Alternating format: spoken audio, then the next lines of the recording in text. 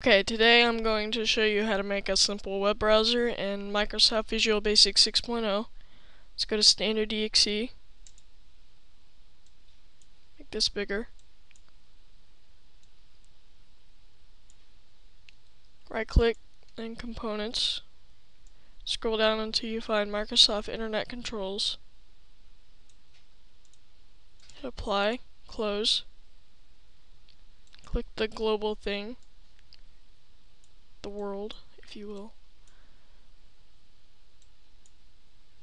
Alright, it's all the way across. Now, you want to add a text box.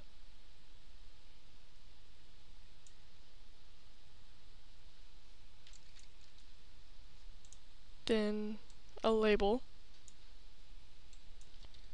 URL.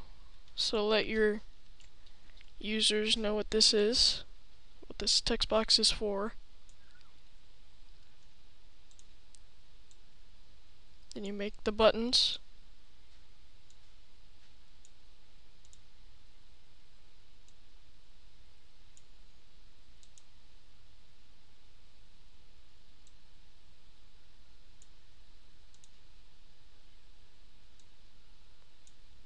Okay, now command 1 will be go. Command 2 will be back. Command 3 will be forward. Command 4 will be refresh. And Command 5 will be home. Alright. First, type in web browser 1,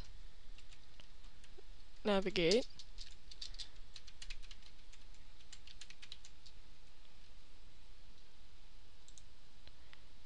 Back is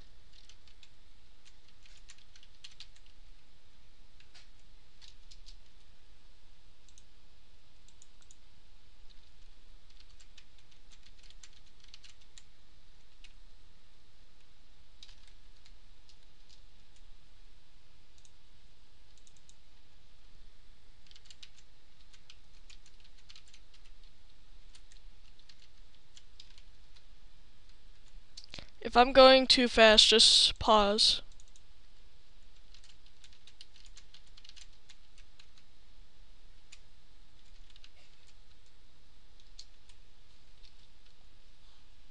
And then there we have the basic stuff. Let's test it.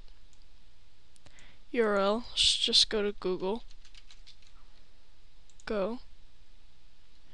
And there you have it, it works. Let's go back.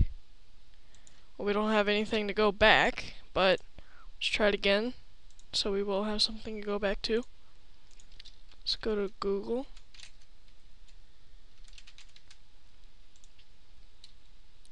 And then let's go to YouTube.